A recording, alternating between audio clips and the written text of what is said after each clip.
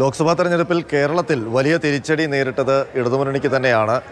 കഴിഞ്ഞ പ്രാവശ്യം ഒരു സീറ്റ് ഉണ്ടായിരുന്നു. അത് മണ്ഡലം മാറിയെങ്കിലും അത് നിലനിർത്താൻ കഴിഞ്ഞു. പക്ഷേ എല്ലാ മണ്ഡലങ്ങളിലും പ്രത്യേകിച്ച് കണ്ണൂരിലെ ഇടത് കോട്ടകളിലടക്കം വലിയ വിള്ളൽ വീഴ്ത്തിക്കൊണ്ടാണ് യു ഡി എഫ് വലിയ തേരോട്ടം നടത്തിയത്.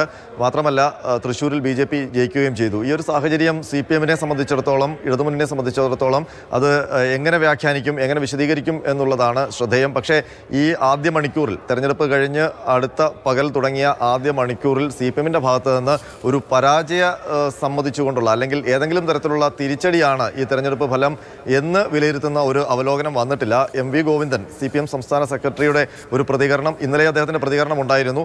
ഇന്ന് വന്ന ആദ്യ അദ്ദേഹത്തിന്റെ ആദ്യ പ്രതികരണം സി പി എമ്മിനെ സംബന്ധിച്ചോ ഇടതുമുന്നണിയെ സംബന്ധിച്ചോ ഏതെങ്കിലും തരത്തിലുള്ള തിരിച്ചടി ഈ ലോക്സഭാ തെരഞ്ഞെടുപ്പിൽ ഉണ്ടായിട്ടില്ല എന്നുള്ളതാണ് കാരണം അദ്ദേഹം ചൂണ്ടിക്കാട്ടുന്നത്.